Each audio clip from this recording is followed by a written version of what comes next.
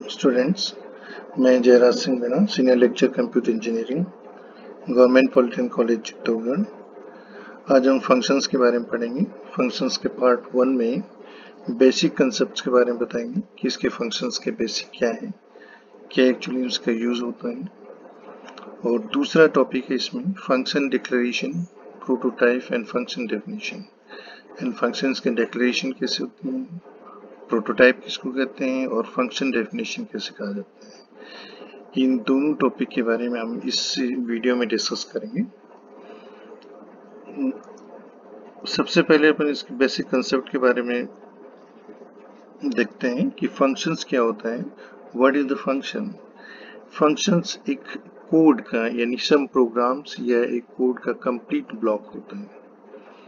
जो किसी भी स्पेसिफाइड कार्य को संपादित करते हैं, जब भी हम फ़ंक्शंस को कॉल करते हैं the functions will do the specified work और ये एक ह्यूमन वर्क की तरह है, जैसे अपन किसी आदमी को हायर करके कोई स्पेसिफाइड वर्क करवाते हैं सेम उसी तरह से फ़ंक्शन भी एक स्पेसिफाइड वर्क को करते हैं। जब भी फ़ंक्शंस को कॉल किया जाता है तो वो किसी पर्टिकुलर टास्क को संपादित करने के लिए ये अपन कॉल करते हैं। और हर सी प्रोग्राम के अंदर प्रोग्रामिंग में पर्टिकुलर जैसे सी प्रोग्रामिंग में, कम से कम एक फ़ंक्शन होता है और उस फ़ंक्शन का नाम मेन फ़ंक्शन होता है। क्योंकि C program is a collection of the functions बहुत सारे फ़ंक्शंस मिलकर के ही प्रोग्रामिंग में सी प्रोग्राम्स बनते हैं। तो यहाँ पर अपन देखते हैं कि जनरली दो प्रकार के फ़ंक्शंस हम यूज़ में लेते हैं। सी प्रोग्रामिंग में। पहला जो फ़ंक्शंस होते हैं, वो लाइब्रेरी फ़ंक्शंस कहलाते हैं और दूसरे फ़ंक्शंस यूज़र डिफाइंड फ़ंक्शन कहलाते हैं यूज़र डिफाइंड फ़ंक्शन जो है, ये यूज़र के द्वारा डिफाइन किया जाता है एज पर रिक्वायरमेंट जैसे रिक्वायरमेंट होती है यूज़र उसे अनुसार जो है, अपने हिसाब से फ़ंक्शंस डिफाइन कर देता है। और लाइब्रेरी फ़ंक्शंस या इसे अपन सिस्टम डिफाइंड फ़ंक्शंस भी बोलते हैं, इनको अपन मॉडिफाई नहीं कर सकते, ये प्री डिफाइन आते हैं। इनके जो मीनिंग है ऑलरेडी हेडर फाइल्स के अंदर होती है और दे आर प्री डिफाइन इनको अपन केवल रीड कर सकते हैं और इनका यूज़ में ले सकते हैं लाइब्रेरी फ़ंक्शंस को, बाकी इनको अपन मॉडिफाई नहीं कर सकते। मॉडिफाई सिर्फ़ अपन यूज़र डिफाइंड फ़ंक्शंस को ही कर सकते हैं। और ये जो लाइब्रेरी फ़ंक्शंस हैं, ये कंपाइलर के साथ यूज़र को सप्लाई किया जाता है। अब अपन डिटेल में देखते हैं कि लाइब्रेरी फ़ंक्शंस क्या होते हैं। लाइब्रेरी फ़ंक्शंस किसको कहते हैं? जनरली लाइब्रेरी फ़ंक्शंस जो है, ये तीन तरह से अपने इसको डिफाइन करते हैं। यानी इसको एक्सप्लेन करने के लिए तीन तरह से कर सकते हैं। पहला है फ़ंक्शन डिफिनेशंस ये प्री डिफाइन होते हैं, क्योंकि ऑलरेडी मैंने बताया कि कंपाइलर के साथ इसको जो सप्लाई किया जाता है तो ये प्री डिफाइन होते हैं प्री कंपाइल्ड होते हैं, और लाइब्रेरी स्टोर इन लाइब्रेरी और लाइब्रेरी के अंदर इनकी डेफिनेशन स्टोर होती है। दूसरा इसका पार्ट होता है फ़ंक्शन डिक्लेरेशन ये हेडर फ़ाइल के अंदर डिक्लेयर होते हैं और फ़ंक्शन कॉल यानी यूज़र के द्वारा प्रोग्रामर के द्वारा, इसको फ़ंक्शन कॉल किया जाता है। हमने अपन यूज़र डिफाइन फ़ंक्शंस के बारे में देखेंगे कि यूज़र डिफाइन फ़ंक्शन क्या होते हैं। जैसे अपने पहली वाली स्लाइड में मैंने बताया आपको कि यूज़र डिफाइन फ़ंक्शंस यूज़र के द्वारा एज पर रिक्वायरमेंट डिफाइन किया जाता है और इसका सिंटेक्स इस तरह से होता है। देखिए आप, ये रिटर्न टाइप है इसका कि किस तरह की वैल्यू को ये फ़ंक्शन रिटर्न करेगा या फ़ंक्शन का नाम रहता है, और इसमें उसके आर्ग्यूमेंट रहते हैं कि किस तरह के कितने आर्ग्यूमेंट इसमें होंगे। ज़रूरी नहीं यहाँ दो ही है, मैंने सिर्फ़ दो इसमें दिखा रखे हैं, दो से अधिक आर्ग्यूमेंट भी इसके अंदर हो सकते हैं। ये जिस तरह से मैंने यहाँ बता रखा हूँ user define own own function then he should know the following three यहाँ भी अगर यूज़र अपने खुद का फ़ंक्शन डिफाइन करना चाहता है तो उसको भी सेम लाइब्रेरी फ़ंक्शन की तरह ही ये तीन चीज़ों को फॉलो करना पड़ता है। पहला है फ़ंक्शन डिक्लेरेशन दूसरा है फ़ंक्शन डेफिनेशन और तीसरा है फ़ंक्शन कॉल हमने इन तीनों बातों को अपन एक्सप्लेन करने के लिए ये एक प्रोग्राम है सी में लिखा हुआ है।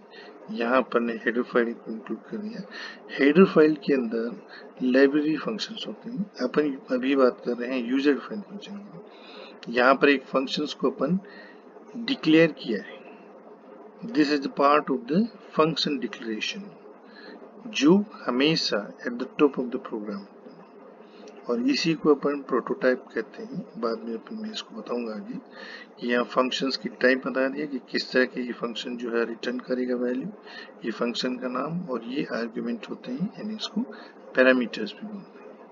ये मेन फ़ंक्शन है, इसमें अपन एक और फ़ंक्शन को कॉल किया, यही वाला फ़ंक्शन यहाँ अपन इसको कॉल कर रहे हैं, ठीक है? ये इसको फ़ंक्शन कॉल करते हैं। इस फ़ंक्शंस को यहाँ पर नहीं डिफाइन किया। ये मेन फ़ंक्शन यहीं क्लोज हो जाता है। और ये जो फ़ंक्शन हमने यूज़ में लिया, वो यहाँ से इसकी ओपनिंग ब्रेसेस ही हैं और क्लोजिंग ब्रेसेस तो ये फ़ंक्शन डेफिनेशन होते हैं। फ़ंक्शन डिक्लेरेशन में हमेशा ये सेमी कॉलम के द्वारा टर्मिनेटेड होता है। यहाँ फ़ंक्शन कॉल किया। फ़ंक्शन की जो ये मेन फ़ंक्शन या किसी भी अन्य फ़ंक्शन में इसको कॉल किया जाता है। यहाँ ये भी सेमी कॉमा के द्वारा टर्मिनेट होता है। लेकिन फ़ंक्शन डेफिनेशन में सेमी कॉमा के द्वारा टर्मिनेट नहीं होता है। क्योंकि इसमें फ़ंक्शन की डिफाइन किया गया है फ़ंक्शंस की डेफिनेशन में।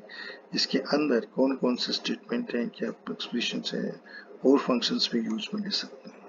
तो ये तीन पार्टों के द्वारा अपन फॉलो करके यूज़र डिफाइंड फ़ंक्शंस को एक्सेल कर सकते हैं।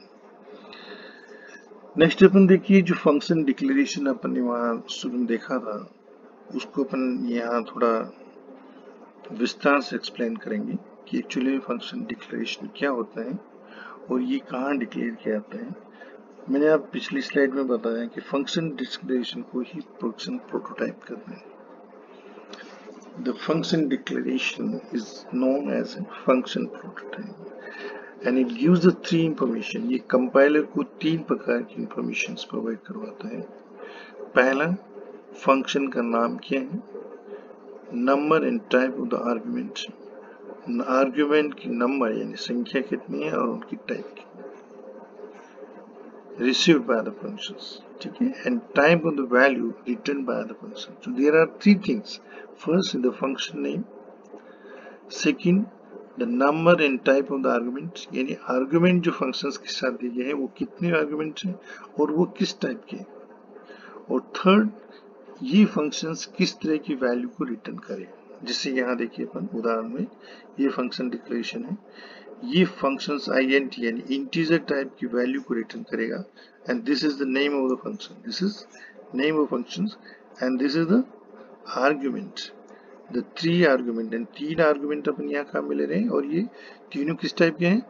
आई एन टी टाइप के, यानी इंटीजर टाइप के आर्ग्यूमेंट यहाँ पर ये इसको फ़ंक्शन डिक्लेरेशन कर डिक्लेरेशन कहते हैं, और this declaration is terminated by the semicolon और हमेशा इसका जो अंत है वो किससे होगा? सेमीकोमा से. तो ये फ़ंक्शन डिक्लेरेशन होता है, यहाँ पर ये अपने प्रोग्राम लिख दिया, ये मेन फ़ंक्शन है।